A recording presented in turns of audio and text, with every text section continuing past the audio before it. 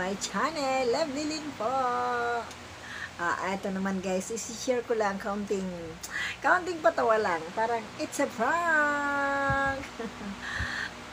Kasi, ilan nga ba? Ilan ang araw? Ilang araw lang ako ay nagpabili ng ice cream sa aking tauhan. At nilibre ko sila yung bangko neto, yung 20 pesos lang. So, kumain kami ng ice cream. At ako ay nagulat. May nalaglag na konti. Tapos, tinignan ko, hinanap ko sa, kung saan nahulog. Eh, ako yung naka-jumper noon. Tapos, sabi ko, wala naman. So, tumayo ako noon kasi nakaupo ako. Tumayo ako, hinanap ko. Wala ako nakita. Sabi ko, baka matapakan ko o madulas ako. Kasi parang medyo malaki-laki yung nahulog eh. Tapos bigla akong umupo. Ay nako yung pala na naupuan ko. So, ayun ay chocolate pa naman ang flavor. So, nagiging parang pupo. Kaya, ang nangyari ay ito. At ako naman, ay, kaya ang nangyari, ayun, para ako may pupo nga.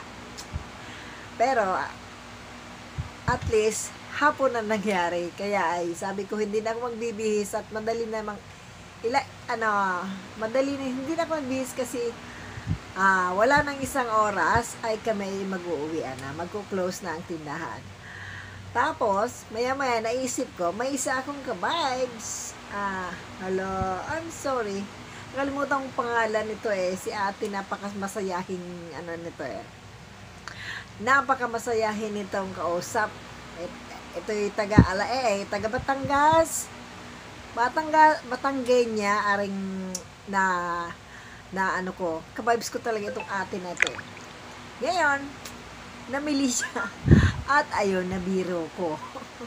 Panoorin nyo guys, tawa muna tayo. Ako nga, baka itae. Alam mo, lagmin siya. Nagano ang ano dito? Ito nga, maniniwala. Hindi nga ga Ermino, no? Oo, oh, ko po, nakadami. Ay, ako yun, no? Bastos na ito. At yun nga. Ko,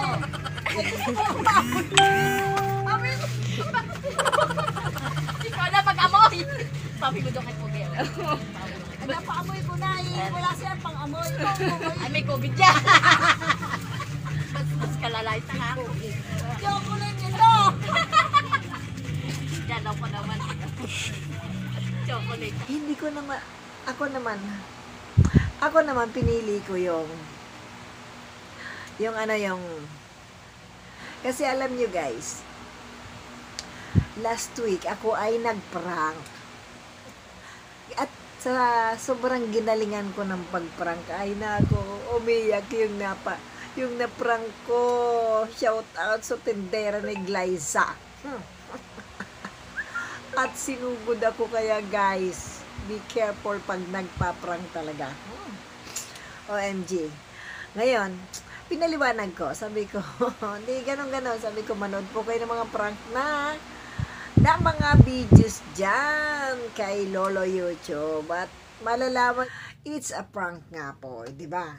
Eh, yun naman ang vlog, ay yun naman talaga ang aim ng pag-prank. Yung, yung maging successful yung, success yung pagpa-prank mo sa isang tao na, kaya, siyempre, ginagalingan mo, di, ibig sabihin, gusto mo talagang maging successful yung pag-prank mo na, talagang idiin mo kung ano yung ginagawa mo na parang maging parang totoo, di ba? Kaya nga, it's a prank! So guys, kaya maging aral sa atin yan, di ba? Na hindi lahat ay mapaprank at syempre ilan na ang naprank ko, di ba? Noon ay sabi ko nga, may naprank ako na nag nagmunti ka ng kaming magdelikado si nanay. Shout out kay nanay. Yung aming yung aming kinaroling, si nanay Dulay. Dulay, Dulay na lang ang tawag ko kay nanay. So, ayan guys. Parang lesson sa akin na, na ayoko na mag-prank nung yung gagalingan ko. Nakakatakot.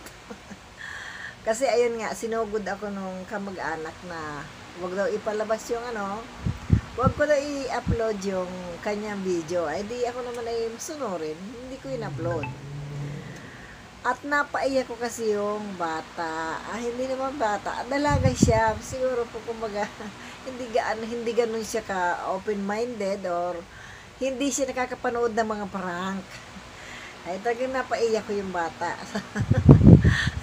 na napagaling yung aking naging successful sana yung akin pag ano, yung pag-prank ay kaso nga, wag ko nga lang daw i-upload. Sayang lang din naman kasi magaling sa maganda sana kaso eh nakiusap sa akin na wag i-upload at na naliwanagan naman sila. So ayan guys, nagkaroon ako ng aral. Pero at least kahit hindi ko na i-upload, sa awa ko na lang sa bata at sasabi ko, sige na nga, ano, okay lang kung hindi ko na i-upload. Binigyan ko ng pera na kahit konti, pampalubag loob. eh di kung pumayag siya na, kung pumayag siyang ano, i-upload ko yun, eh ano, ah malaki sana ibibigay ko sa kanya at saka sayang din sana di ba content na rin. Pero okay lang. At least parang additional aral na rin sa akin na at saka syempre sa inyo mag-ingat tayo sa pag-prank guys kasi delikado minsan. Ako buti na lang hindi ako sinugod ng tagang galit na galit. Kaya ingat-ingat lang kaunting pag ano, parang nagalit sa akin ng anak ko kasi ako daw na nag, nag-prank ng ganon.